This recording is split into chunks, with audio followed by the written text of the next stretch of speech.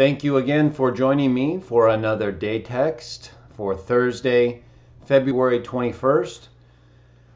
My name is Greg Stafford, and we host these day text videos Monday through Friday at 5 a.m. Pacific Standard Time, unless otherwise scheduled. So always take a look at the uh, pending items. But usually we meet every weekday so that we can consider a portion of the biblical record or other related histories, sources of wisdom and knowledge that we can benefit from and use in our lives today. All right, so we're working our way through the letter to the Hebrews, and we are in chapter 11. And I'm going to go ahead and start by reading verses 30 through 35. Occasionally I may break, make a few comments, but I will for sure at the end of the texts make an application, see if we have any questions, and then we'll be on our way. Okay. So I'm going to go ahead and start by reading uh, Hebrews chapter 11, verses 30 through 35. We're talking about those um, people in the past who demonstrated faith. And so the author of Hebrews is giving a list of examples of people who acted out of faith. Faith is belief based on the best available reasons. Faith is not ever something absent good reasons, and they should be the best available reasons. Faith is based on evidence, even if you can't fully see it, even if you don't know it. Like going out any time of the day and driving in a car. You don't know if you're going to die, but you have good enough reasons to believe you will survive. So you do it. Well, people in the past and people today are acting in the same way out of faith, according to the reasons that we have that determine for us whether what we believe is more most likely true and whether we can act on it as if it's true, even risking our lives.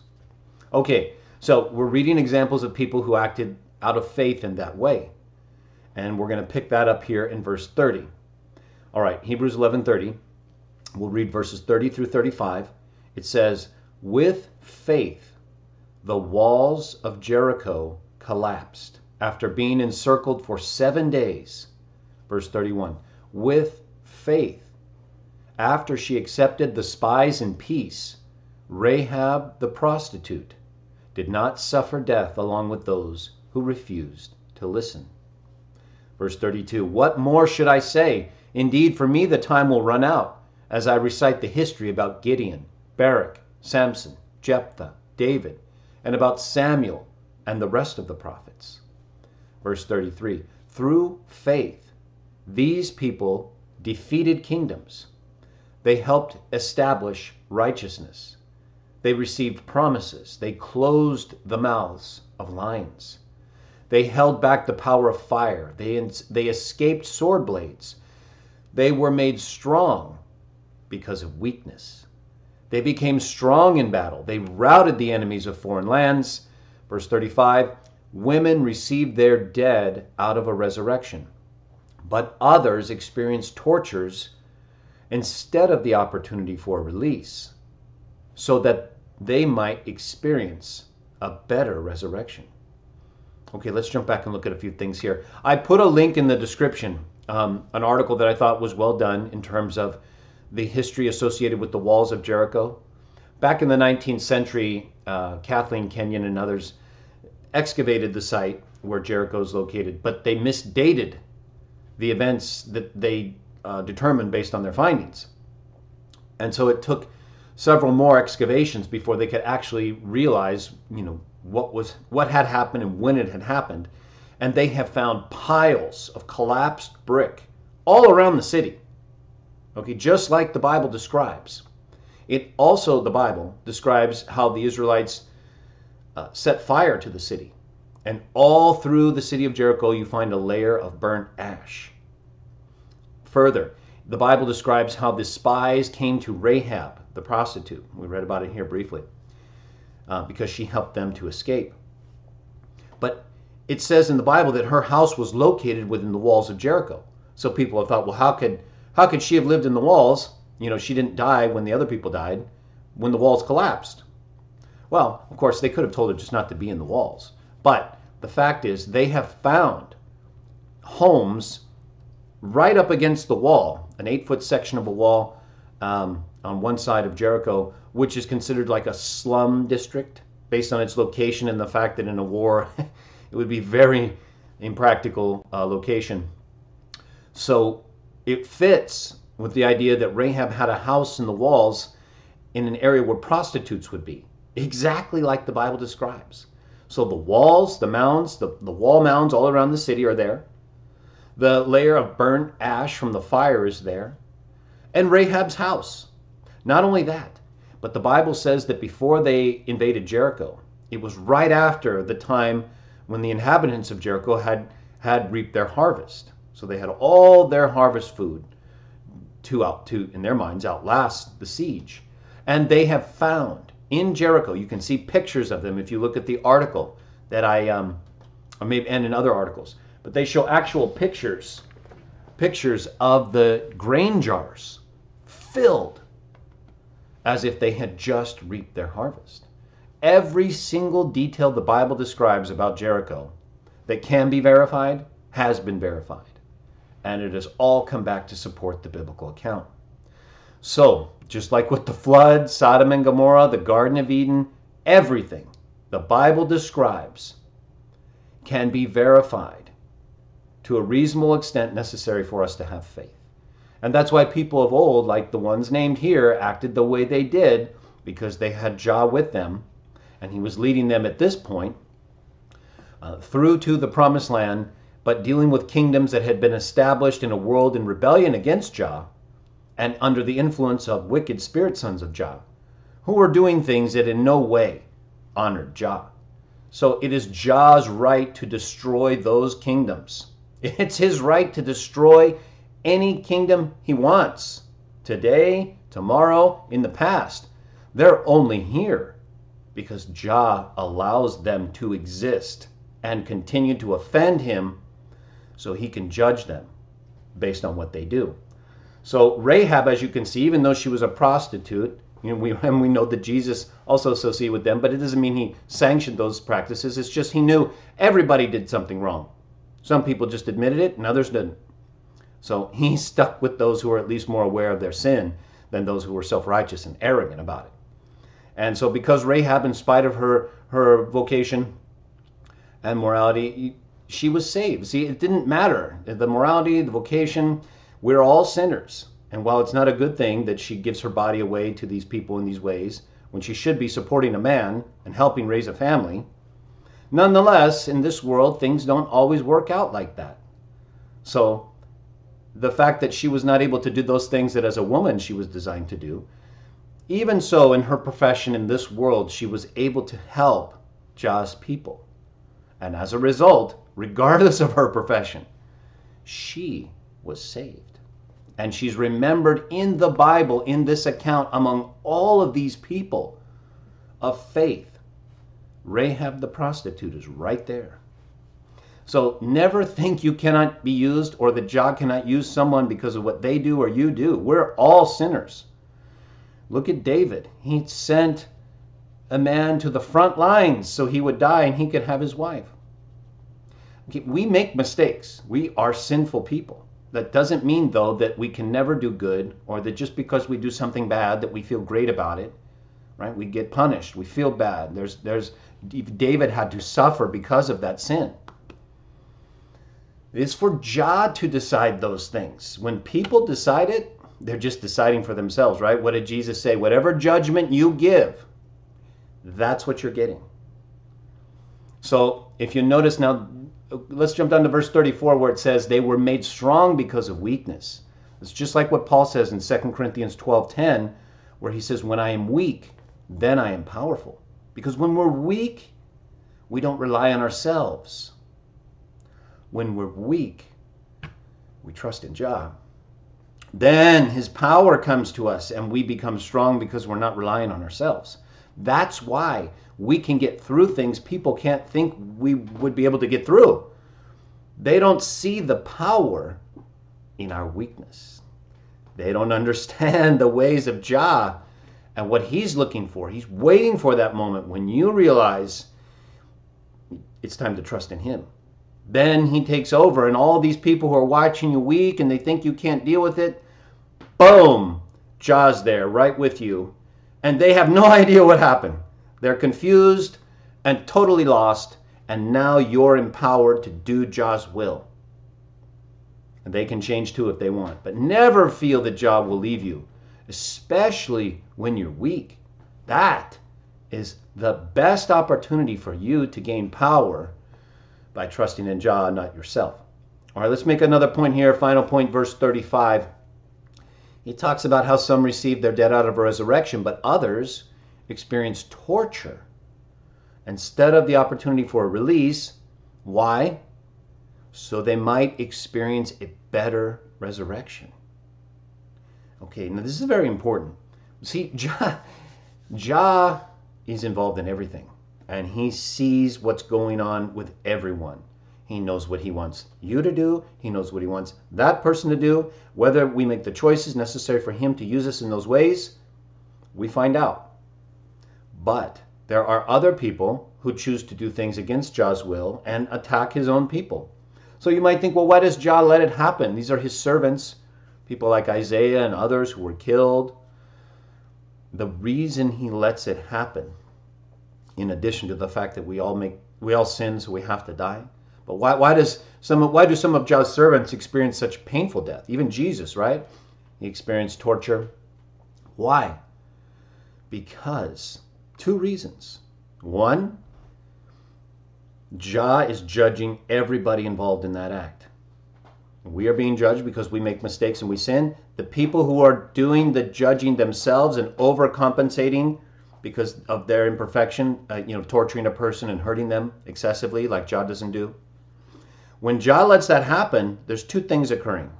One, he's preparing to reward you. What you endure is all going into what he's going to give you. So the more you endure, the more you're going to receive because you've shown yourself worthy and capable of handling it.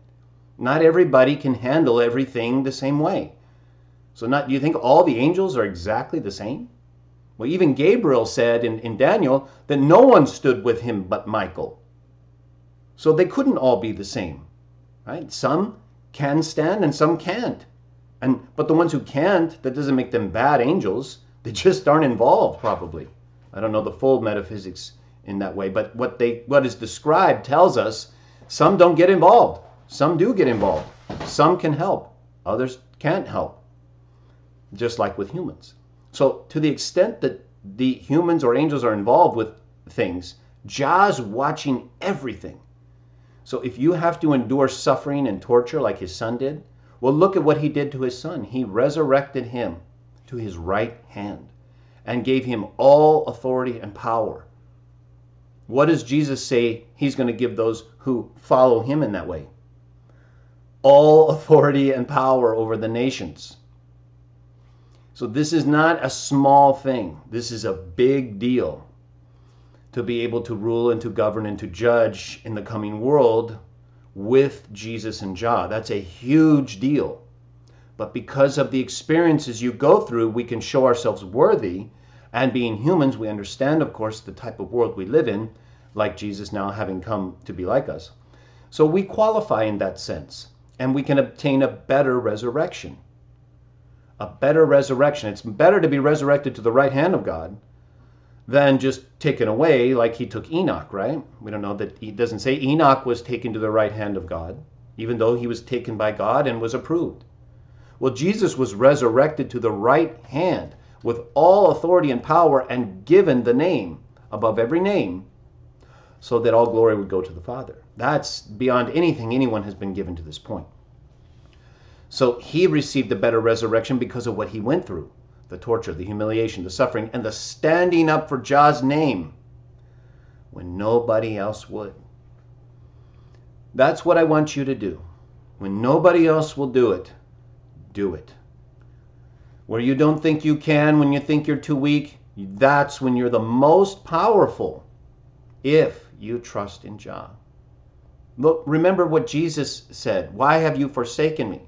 Is that not weakness? Was he not in a weak moment there? But then what did he do? He trusted in Jah and even gave him his spirit. So it can be very difficult for us at times to have to go through these things. But remember, Jesus had the right body. Jah gave him the body so when he would deal with that difficult condition and wonder why he was being forsaken, why he had to go through this death and torture, he would have the right body and he already had the right spirit, and now he just had to endure. And that's why Jesus tells us the one who conquers and observes his deeds down to the end will be given the morning star, be able to eat from the tree of life, will be given authority over nations, and will sit down with Jesus on his throne, the same as he sat down with his Father on his throne. Revelation chapter 3, verse 5 and 21, and elsewhere. So these are the, the teachings that are given to us to provide hope and encouragement for when things become difficult. And if we have to experience tortures or difficulties, those are just temporary. They're difficult, of course. Who, who would want that? But remember what Jesus said Be not fearful of the ones who can kill the body. You see, they're killing themselves by doing that to you. Everything they're doing to other people, they're just lining themselves up to be next. And they don't even realize it. They don't think that could happen. Yet look at how it has happened to every single person who's lived before. And yet they don't think it's going to happen to them. How could it not happen? That's all that ever happens judgment and death. And you think you can go and hurt and torture people in life for your own selfish pleasure and not get what's coming? They're fooling themselves. They're deceiving themselves just so they can get by the moment of their sin not thinking anything will happen to them. This is why they're called the stupid ones. They cannot see that what has happened to every single person who's ever lived is going to happen to them. Somehow they think they just are immune, I guess. They can get away with all this crime, murder, torture, hurting other people, and they're just going to get a free pass right through life. Death will be no problem for them, right? Wrong. Death is going to be the biggest problem they've ever known if they don't turn around and stop hurting other people. There's people like this. They actually think they're going to get away with all this. How are you going to get away with all of that horrible treatment to other people? when you can't even get away with it with humans most of the time. You think you're going to get away with it from Jah, the one who made you to not hurt other people and torture them? All you're doing is giving the people you torture a better future. And you're destroying whatever future you have left. So that's a, a lot of good information here. Don't worry about people who just continue to hurt and harm other people without any thought or care of what they're, what they're, what, what's coming to them. They're going to get it and there's nothing anyone can do to help them. They either see it or they don't. We can all see and read the same things. Some of us just see it and some don't. Some of us believe it and some don't. We're all going to the same place. So I'm pretty sure we're all going to find out in the same way. That doesn't mean that the result will be the same, but we're all going to go through the same process. So it's the people who don't think they're going to go through that that are in the worst condition possible. Because once it happens to them, they're not going to know what to do. And it's going to be very difficult for them. Beyond even the suffering that those who follow Jesus and Jah have to endure. Because we know why it's happening. Whereas when they fall into the hands of a living God, they're going to know, but they're not going to be able to have any hope of getting out of it. So don't fall into that trap. Even if you die or are tortured, you have hope. You have faith. They don't.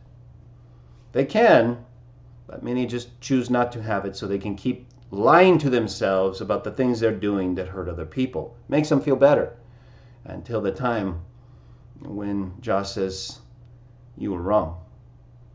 Okay, so try not to be one of those who has that conversation with Jah. You want a better conversation. You want Jah to be able to come to you and show you your life and all the things you did and you not worry about the next scene he's going to show you. We're going to see some things we didn't like depending on how we're judged.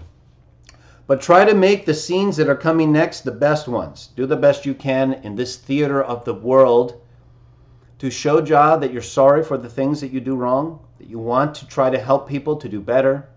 We have a long history of faithful people, from prostitutes to kings to judges. We have a lot of people in our family, our spiritual family of Jah worshippers. And if you ever forget or if you feel alone, just look back at all the things they had to go through.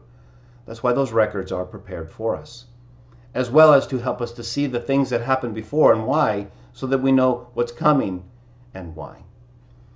All right, I appreciate all that. Sometimes, you know, um, you know, we, we get some good text and we can talk about a lot of different things. And I, I'm looking at some of the comments here. So, yes, people have to give their life. We're all going to die unless God takes us away like Enoch, or we survive to the point where Christ gathers up the living with the trumpet of God as he raises the dead. But you don't you should just think about each day. Those that will happen to us or not. Or we will have to pass away and then be brought back. We weren't here before, so you know, don't dwell on the things you cannot change. Try to focus on the things that you can change. Or accept the system you're a part of. Recognize there's a limitation to your life, but that you serve the source of life so that you put yourself in the best possible position for life in the future. Either way, the life that we live now can be much better if we treat people the way we want to be treated, follow the ways of Jesus, and praise Jah. And that's what we do. So I thank you all for joining me, and um, I look forward to tomorrow's day text. We'll keep working our way through the book of Hebrews. We have Saturday's CW Jah Talk number 11 on Ancient Aliens, so be sure to join me for that. And I look forward to seeing you all tomorrow for another day text.